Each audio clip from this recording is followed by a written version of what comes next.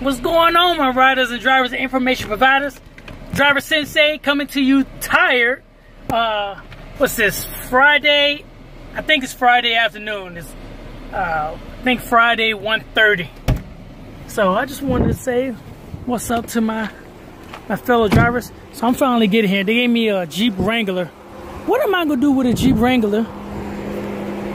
But I got a little layover. Well, not a little layover. I actually made a stop uh, to this place. I don't know what it is. I think it's called Hawaii. Just gotta love the view.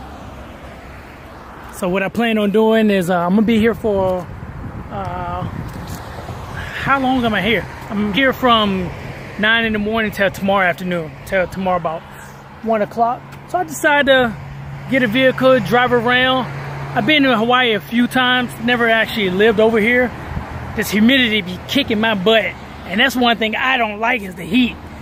It's November 2nd, 1st, it's November 1st, and it's already hot, still hot. I got people messaging me, because I was supposed to stop in San Diego for a few days. I got people messaging me, telling me it's 32 degrees in San Diego.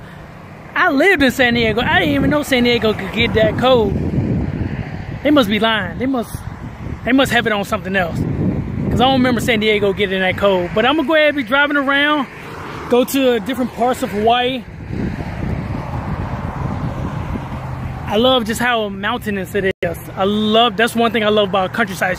If you notice, even when I travel abroad in other countries, uh, I love just going through hilly areas, mountainous areas. Mainly because I grew up on the East Coast, I didn't have hills and mountains. Like I had a hill in my backyard that was about this big. We used to get in little cardboard boxes, roll down. I thought that was a mountain until I get over to California. I see what a real mountain is.